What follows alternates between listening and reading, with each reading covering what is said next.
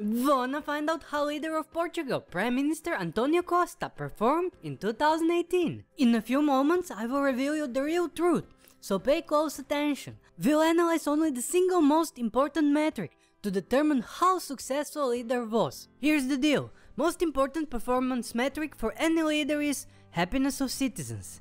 It's number composed of multiple variables, including GDP per capita, social support, healthy life expectancy, freedom to make life choices, generosity, and perception of corruption.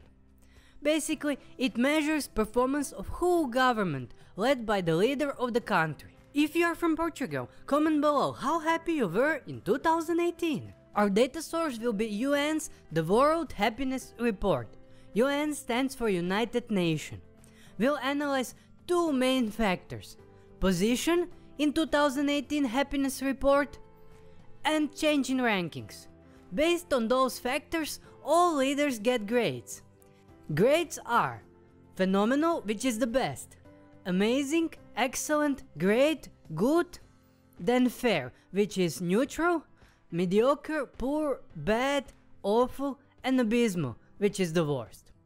If country dropped ranking from last year, leader can't get positive grade. Is that clear?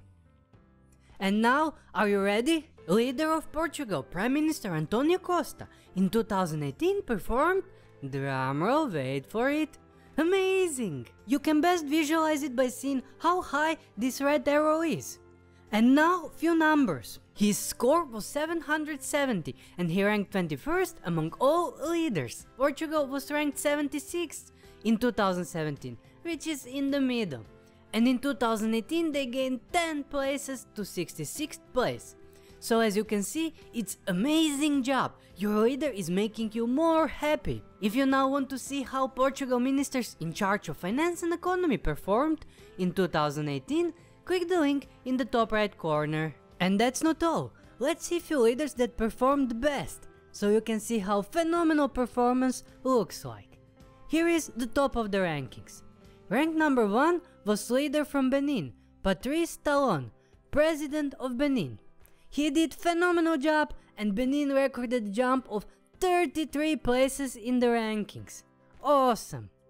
Rank number 2 was leader from Kosovo, Ramush Haradinaj, Prime Minister of Kosovo. Phenomenal job, Kosovo jumped 90 places in the rankings. Rank number 3 was leader from Italy, Giuseppe Conte, President of the Council of Ministers of Italy. In 2018, Italy leaped 11 places, from 47th to 36th place. Now, before you go and watch next video, remember to subscribe and click bell icon so you don't miss new 2019 rankings. I will analyze 2019 performance as soon as new UN ratings become available. Bye!